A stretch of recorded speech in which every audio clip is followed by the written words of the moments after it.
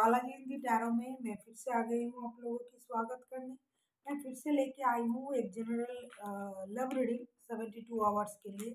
हम आप दोनों की एनर्जी को चेक करेंगे। ये जनरल रीडिंग है तो हर बात हर किसी के साथ तो रेजोनेट नहीं करेगा। जितना भी आपके साथ रेजोनेट करता है उसको रखिएगा, बाकी को छोड़ दीजिएगा। हो सकता है बाकी रीडिंग किसी और से रेजोनेट कर जाए।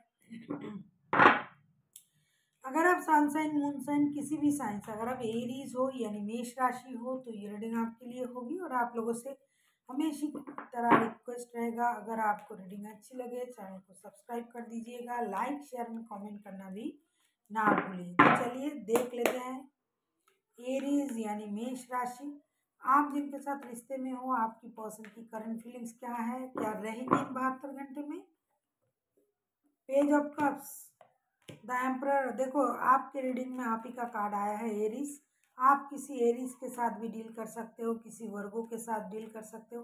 ये बंदा कहीं ना कहीं ये उम्मीद लगा के रखा हुआ है कि उनके तरफ़ एक माफ़ी आएगी. कहीं ये भी माफ़ी मांग सकते हैं कभी कभी ये सोच रहे, लेते हैं कि माफ़ी मांग लेना चाहिए.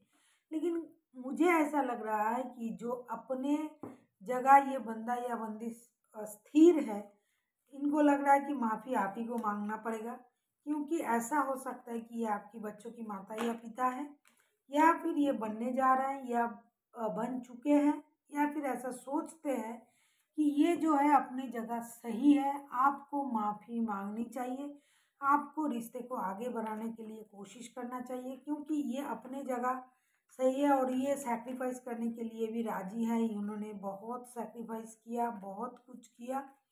लेकिन अभी आपकी बारी है ऐसा ये सोच रहे हैं। और एक बात एनर्जी वाइज वर्षा होते रहते हैं हो सकता है ये आपकी एनर्जी हो एरीज अभी हम देखेंगे आप क्या चाहते हो। आपके आ, मैं आपके लिए क्या कहूँ आप दुखी रहोगे इन बहत्तर घंटे में थोड़ा परेशान रहोगे किसी अननोन फेयर से आपको आ, आपको किसी अननोन अननोन चीज़ों से फेयर रहेगा डर रहेगा कि ऐसा हो सकता है वैसा हो सकता है ऐसा क्यों हो रहा है। आ, और आपको कोई गुड न्यूज़ का इंतज़ार रहेगा। आप पूरी तरीके से नए तरीके से शुरू करना चाहते हो रिश्ते को।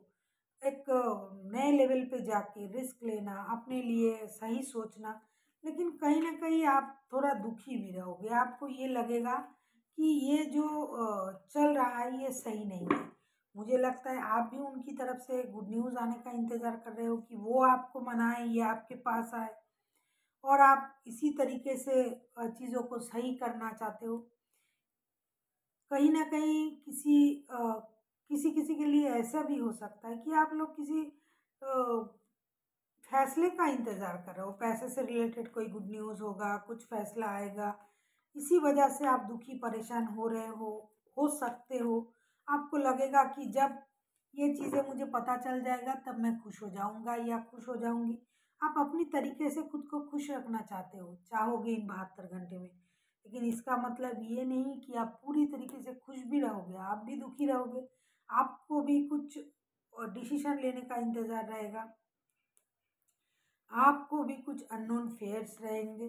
तो ये आपकी तरफ़ से भी एक परेशानी जैसा स्थिति रहेगा।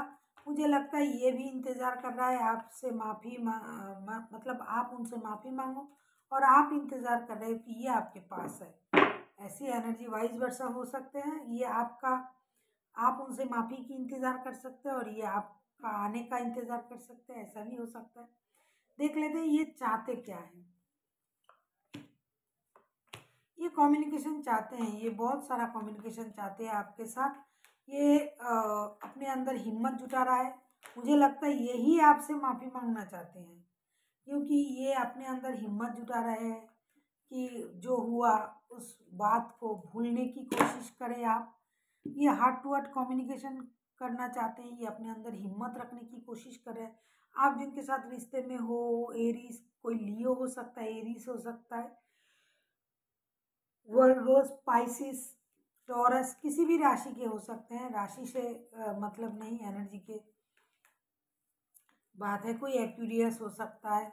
तो ये बंदा आपसे बात करने के लिए हिम्मत जुटा रहा है। मुझे लगता है यही माफ़ी मांगना चाहते हैं क्योंकि उनको लगता है गलती उनसे हुआ है। कितना भी वो अपने आप को इस तरीके से रखे कि उनको कोई फ़र्क नहीं पड़ता है उनको ज़रूर फ़र्क पड़ता है।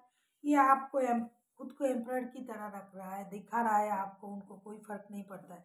लेकिन कहीं ना कहीं मन ही मन ये माफ़ी मांगने के लिए उतावले हैं, ये बात करने के उतावले हैं, बात करने के लिए। और कुछ सही हो जाए, सब कुछ इसके लिए जो बात करनी है, उसमें ये अपना हिम्मत भी जुटा रहा है। स्ट्रेंथ के कार्ड आए हैं, ये अपने अंदर हिम्मत को जुटाने की कोशिश कर रहा है कि जो हो रहा है, क्या इसमें उनकी गलती है या आपकी है, जिसकी भी है ये चीज़ों को सही करने के बारे में सोच रहा है और अगर ये आगे आके आपसे बात करेंगे, क्या आप उनको माफ़ कर दोगे? बोलने के लिए हिम्मत जुटा रहा है बंदा, क्योंकि ये बहुत सारा कम्युनिकेशन चाहते हैं। कितना भी अपने आप को संभाल के रखे, आपको दिखाए, ये, वो, लेकिन अंदर से ये चाहते हैं कि सब कुछ सही हो जाए। देख लेते हैं इनका एक्शन क्या रहेगा। जब एक्शन लेने की बारी आई, मुझे लगता है ये कंफ्यूज है, क्योंकि उनको लगता है कि क्या आप उनको माफ़ करोगे? ये पहले से ही अपने अंदर हिम्मत जुटा रहा है, पहले से ही अपने आप को मतलब तैयार कर रहा है तो ये अपने आप को बैलेंस करेंगे। इन बहत्तर घंटे में ये अपने गुस्से को कंट्रोल करेंगे, अपने आप को बैलेंस करेंगे, अपनी थॉट को बैलेंस करेंगे, और ये दो दो चीज़ों के साथ बंदा जगलिंग कर रहा है कन्फ्यूज़न के साथ और स्ट्रेंथ के साथ। कभी कभी उनको लगता है, नहीं, माफ़ी मांग लेनी चाहिए, जाके बात कर लेना चाहिए।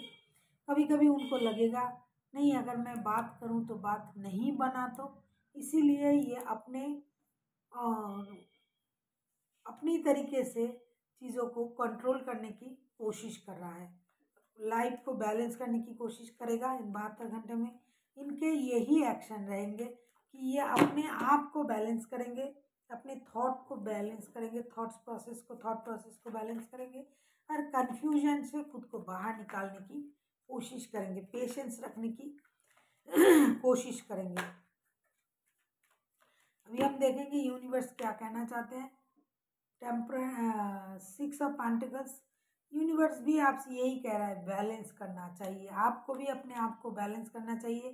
चीज़ों को लेट गो कीजिए। मून के कार्ड दो दो बार आए हैं। इसका मतलब ये है कि ज़रूरी है कि आप बहुत ज़्यादा दुखी हो, परेशान हो।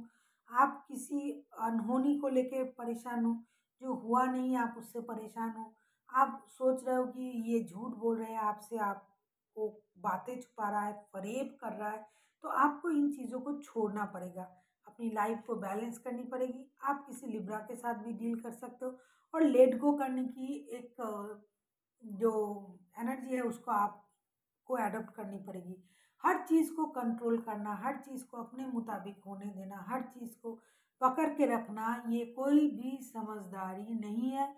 आपको लेट गो करनी चाहिए, आपको लेट गो की एनर्जी में आनी चाहिए, क्योंकि जब तक आप लेट गो नहीं करोगे, तब तक आप पुरानी चीज़ों में अटके रहोगे और जब तक पुरानी चीज़ों में अटके रहोगे, तब तक आपको दुख होगा। इसीलिए आपको लेट गो करनी पड़ेगी। आपको भी अपनी लाइफ को बैलेंस करना पड़ेगा ताकि हमेशा आपको परेशानी ना हो। सही तरीके से सोचे, बिंदास तरीके से सोचे, जो हो गया, सो हो गया। जो नहीं हो रहा है फ़िलहाल के लिए, उसको लेके रोने की ज़रूरत नहीं है। जो हो सकता है, उसको सोचिए और चीज़ों को लेट गो करने की कोशिश कीजिए। अगर जब तक आप लेट गो नहीं करोगे, पकड़ के रखोगे, सीने से लगा के रखोगे बातों को, तब तक परेशानी आप ही को होगी। So thank you for watching and फिर मिलते हैं एक नई वीडियो के साथ। तब तक के लिए स्वस्थ रहिए, मस्त रहिए और वीडियो देखते रहिए।